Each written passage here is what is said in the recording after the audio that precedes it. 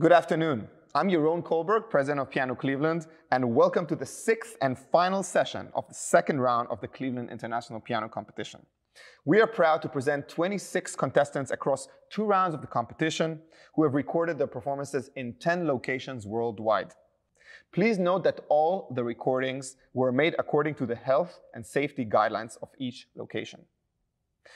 Tonight, you'll hear performances by Llewellyn Sanchez Werner, Lovre Marusic, Peter Klimo, and Takashi Yasunami.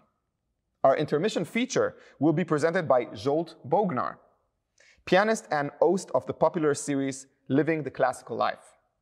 This afternoon's performance is generously supported by Benesch.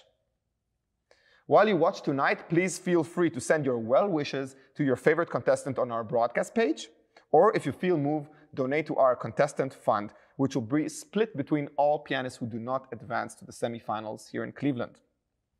Thank you for joining us, and we hope you enjoy the performances.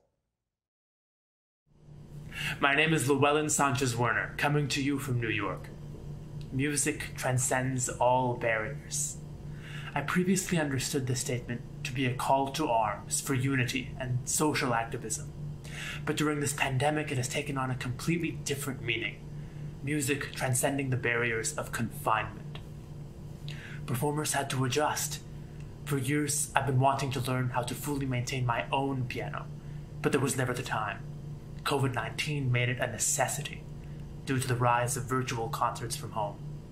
So now I tune my piano, change strings, unstick sticky keys. For the first time, I performed chamber music, for which there was no in person rehearsal. That meant that with a violinist, cellist, singer, wind ensemble, and even a poet, I recorded a track in advance, which they then played on top of. And musical decisions were based only on Zoom conversations. This was antithetical to the in the moment listening we hold so dear in musical collaboration, but proof that there is always a way forward for musical innovation. Even playing in empty halls for pre recorded concerts required sacrifice from the performer and audience alike. It's not the same. I became additionally immeasurably grateful. Grateful for the magic and the fire of in person collaboration as we experience the gradual return to normalcy. So I'm thrilled again to enjoy the infectious energy and love of live audiences we are lucky to play for. I look forward to sharing the music of Beethoven and Chopin with you. Thank you.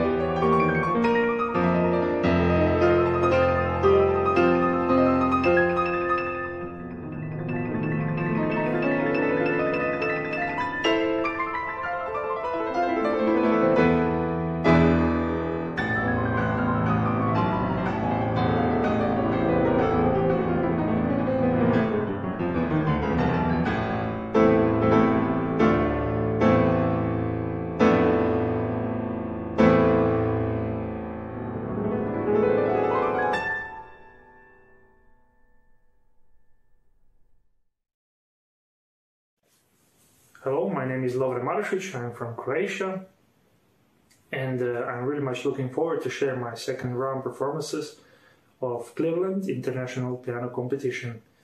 It's not just one of the biggest piano competitions in the world, it's also one of the best organized. The fact that we can perform, especially on such a high class event as a Cleveland International Piano Competition, that's the fact is really extraordinary because it gives us a possibility to make career, to make concerts, to make our music simply live. I hope uh, the world will be in a future a better way, a better place to live for sure. And I hope the music will help, and because music is always helping us in every sense in the life.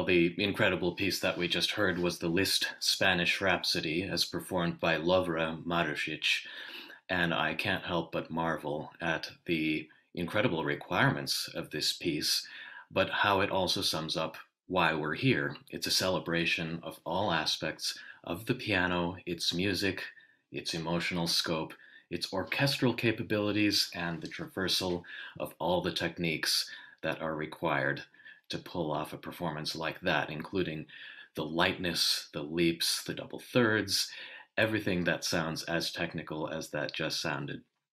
I'm Zsolt Bognár, and it is a pleasure to be here with you. I hope that you're enjoying this competition. I hope that you're well. It has always been a pleasure to be here with you and hosting various events for the Cleveland International Piano Competition over the years. About Liszt, one of my favorite anecdotes to share concerns a prominent music critic of his time who had heard about Liszt as performer and all the hysteria surrounding the audience and their reactions. Apparently, the women would faint, and he had his own antics of bringing on gloves to the stage, removing them, throwing them into the audience.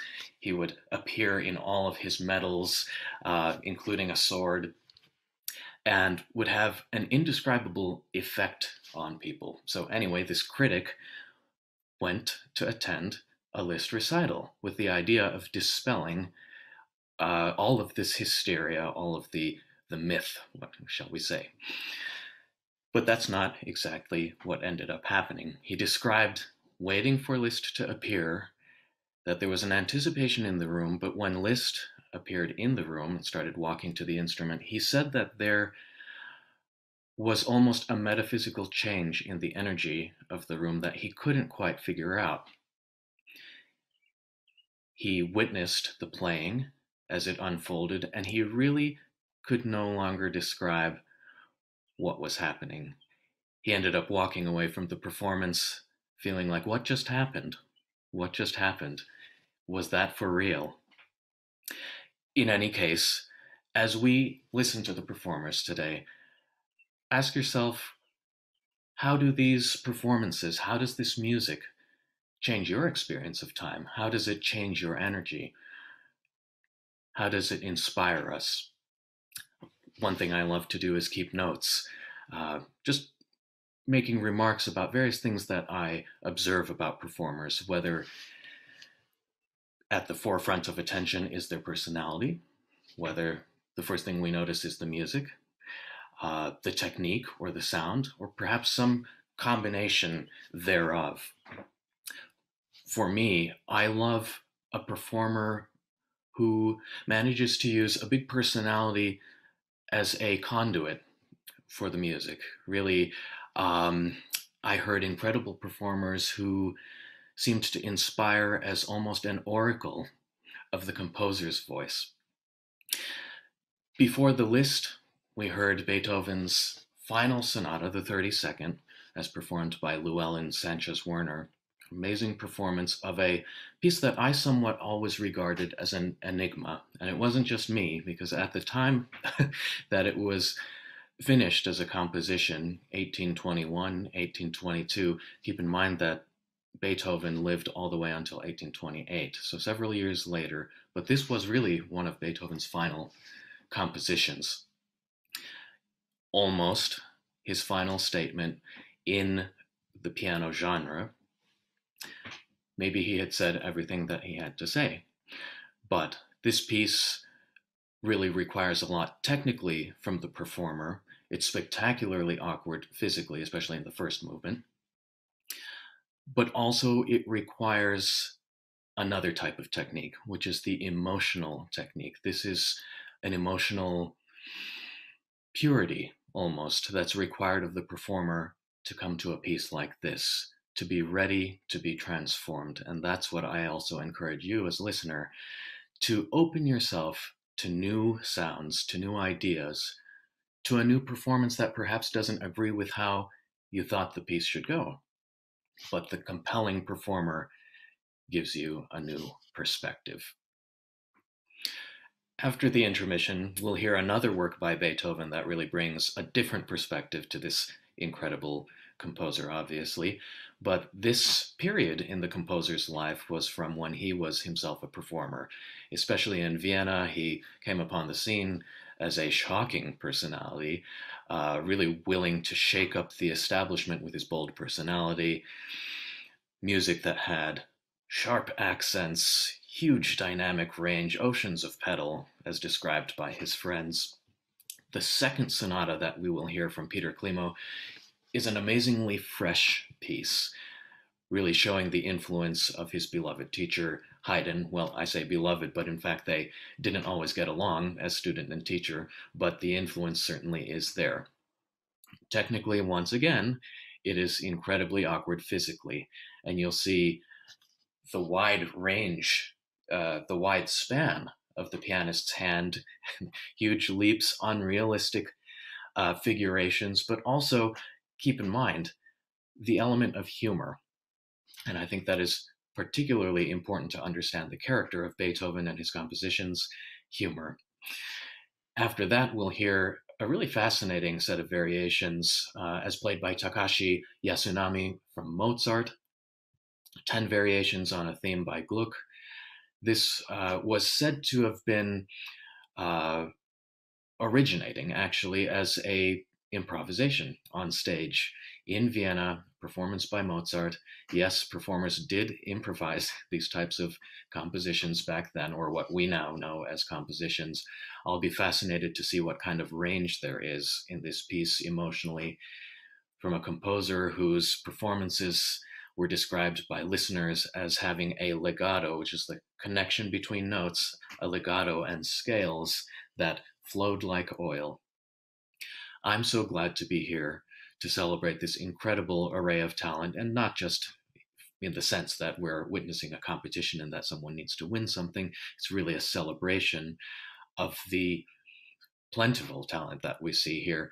Know, I'm reminded of a book that I once read by Atul Gawande. Uh, this was Complications, a Surgeon's Notes on an Imperfect Science, and you're probably wondering why I'm bringing up such a title. Well, the fascinating premise in this book was that he was comparing the lives of three different professions or callings, shall we call it Olympian athlete, surgeon, and classical musician. He talks about their lives as being similarly uh, dedicated, committed, always on call, constant training, and yes, the isolation and sometimes loneliness that comes along with this. Keep this in mind with the performances that you hear today. In some cases, a piece will go by in just minutes, but there's a lifetime of experience, hope, work, and dedication that goes into the preparation of what you are about to hear and enjoy.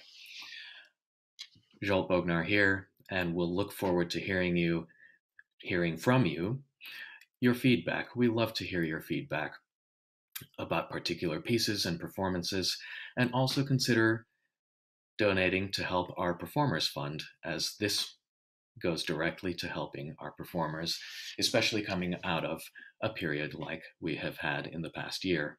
We are looking forward to better times ahead, and we hope you enjoy the next performances. Hello, my name is Peter Klimo, and I'm from Los Angeles, California. One of my most memorable musical experiences occurred in 2016 when I got the chance to perform at the Grand Hall of the Liszt Academy in Budapest, Hungary. I am ethnically Hungarian, and I still have relatives living in Hungary, in particular my grandparents, and so getting the chance to perform for them was a particularly special uh, evening.